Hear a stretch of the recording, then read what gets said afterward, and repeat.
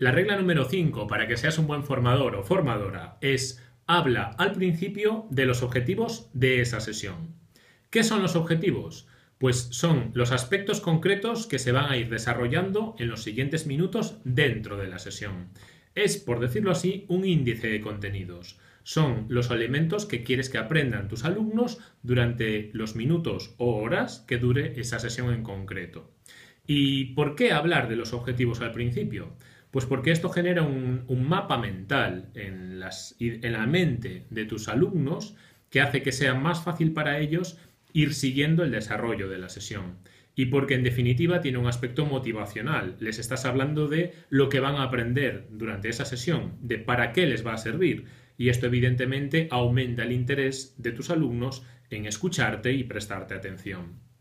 Em, te voy a poner algún ejemplo. Em, cuando yo arranco los cursos de técnicas de venta, por ejemplo, que imparto con cierta frecuencia, una de las cosas que yo digo después de presentarme es, y los objetivos de la sesión de hoy es que aprendáis los tipos de clientes que hay, cómo se comportan y cómo actuar con cada tipo de cliente, a manejar las objeciones que te pongan los clientes, por lo tanto vais a aprender qué contestarle de manera eficaz a un cliente cuando te ponga una pega y sobre todo, lo más importante, cómo cerrar las ventas, porque es el aspecto más eh, esencial de una venta, saber cerrarla, y es aquel que los vendedores y vendedoras menos hacen, menos aplican. Aquí en esta sesión vais a, vais a saber qué es el cierre de ventas, pero sobre todo cómo poner cierres de ventas para que consigáis vender más.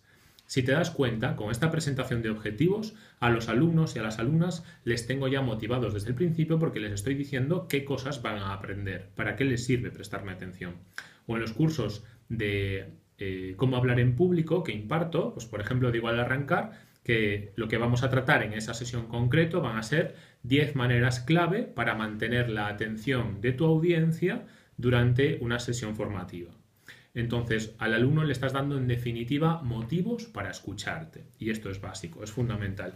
Fíjate que por tu experiencia, al igual que por la mía, hay un déficit muy grande de este punto que es básico, de esta regla número 5.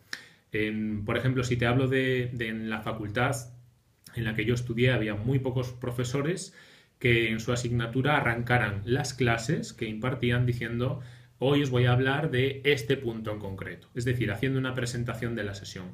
Lo que suelen hacer los profesores en general, tanto dentro del ámbito universitario como en cualquier otro ámbito, es meterse de lleno en materia. Nada más a empezar, se ponen a hablar del tema en concreto. Esto desde mi punto de vista es un gran error, porque le estás pidiendo a la gente que se suba en tu coche sin saber a dónde vas. Y la gente, cuando haces esto, tienden a desconectar de ti, porque no saben a dónde les estás llevando. Entonces es mejor que les digas hacia dónde va ese vehículo, hacia dónde les quieres llevar, para darles un motivo, en definitiva, para escucharte. Y siendo un aspecto tan importante, ¿por qué los formadores y los profesores no hablan de los objetivos de esa sesión al arrancar la sesión? Pues porque hablar de ellos te obliga a seguir una ruta determinada y a tener un control bueno del tiempo. Mira, una de las cosas que yo hago, por ejemplo, es eh, dejar los objetivos de la sesión escritos en la pizarra o un papelógrafo durante toda la sesión. Así los alumnos saben en qué punto estamos del programa para ese día y cuántos puntos nos quedan. Claro, eso si tienes una buena gestión del tiempo, está bien, queda elegante, pero si tienes una mala gestión de tu tiempo, de tu clase, quizás te pase que tengas los siete puntos escritos en la pizarra, que estés terminando la sesión y que te queden tres por dar. Aquí los formadores hacen algo que desde mi punto de vista es un error, que es ponerse a correr para que le dé tiempo a dar los siete puntos. Y eso al final va a hacer que te pase lo que te ha pasado centenares de veces en tu vida, que es tener a un profesor que va a toda pastilla simplemente con el objetivo de que le dé tiempo a darlo todo. Y esto es nefasto en formación, nefasto. Entonces, no se ponen los puntos, pues, como una manera de protegerme. Mm, si no me da tiempo a terminarlo todo, pues no pasa nada. Como los alumnos no sabían lo que íbamos a dar hoy. Pero claro, esta manera no es muy profesional por tu parte como formador, porque hace que para querer protegerte y que nadie te pueda decir, oye, los últimos dos puntos no los hemos dado, pues simplemente no digas los objetivos de la sesión.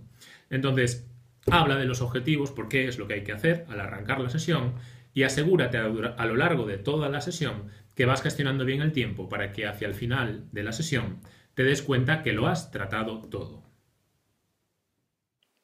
Sigue todo el curso de formador de formadores y obtén tu diploma desde www.ieformaciondeformadores.com.